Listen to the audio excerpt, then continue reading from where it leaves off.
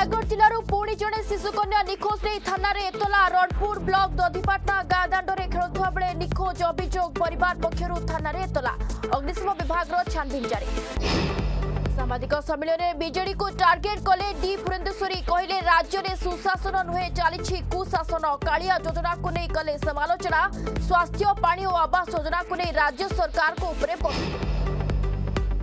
କେବେ ଖୋଲିବ ଶ୍ରୀମନ୍ଦିର ଆଜି ଛତିଶା ନିଯୋଗ ବୈଠକରେ ହେବ ଆଲୋଚନା ପହିଲି ଭୋଗ ଓ ମକର ସଂକ୍ରାନ୍ତିର ନୀତି ସମ୍ପର୍କରେ ମଧ୍ୟ ନିଷ୍ପତ୍ତି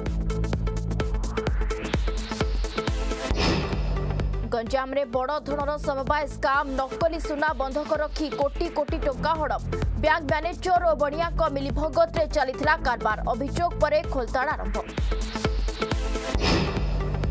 কোরাপুরৰ 70 লাখ টকাৰ গঞ্জেই জব্দ আৰু বাহৰ ৰাজ্যক চালান बेলে গঞ্জেই জব্দ কৰা পুলিচে পটে কণ্ঠবাৰ আৰু গঞ্জামৰে বিপুল গঞ্জেই গছ নষ্ট কৰা অপकारीকে